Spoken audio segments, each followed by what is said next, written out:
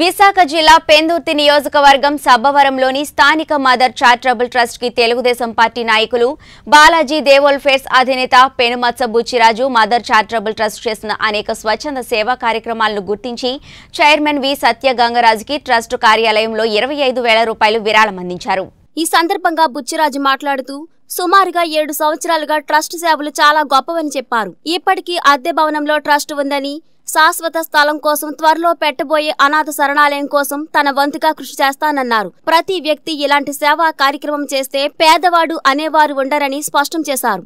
ఈ కార్యక్రమంలో సబ్బవరం మేజర్ పంచాయతీ సర్పంచ్ అభ్యర్థి డేద్దం ప్రసాద్ ట్రస్ట్ డైరెక్టర్స్ మరియు ఏవో చైతన్య ట్రస్ట్ మెంబర్స్ పాల్గొన్నారు. ఈ విరాళాన్ని ఈ నెలలో ప్రారంభించే ఉచిత కుటుంబిషన్ కేంద్రానికి ఉపయోగిస్తామని చైర్మన్ గంగరాజు పేర్కొన్నారు. ఈ సందర్భంగా బుచ్చిరాజుని ట్రస్ట్ సభ్యులందరూ సాలువతో సత్కరించి అభినందించారు.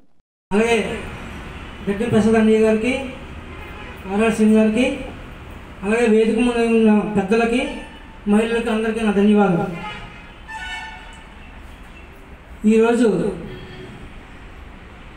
మమ్మల్ని పిలిచి సన్మానం చేసిన రాజుగారికి నమస్కారాలు తెలియజేస్తూ అలాగే మన మండలంలో ఉన్న చదువుకున్న విద్యార్థులకి ఏదైనా సమస్య ఉన్నా మీ ట్రస్ట్ ద్వారా వాళ్ళకి ఎటువంటి సహకారం కావాలన్నా నేను అందజేస్తానని ఈ సభాముఖంగా తెలియజేస్తున్నాం అలాగే వృద్ధులు ఉంటారు కదా తల్లిదండ్రులు వదిలేసి అలాంటి వృద్ధులు ఉన్న వాళ్ళకి మీ ట్రస్ట్ ద్వారా ఏ సహాయం కావాలన్నా నేను సహాయం చేస్తాను.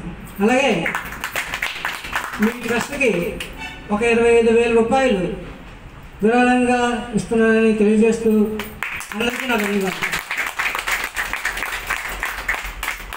Thank you sir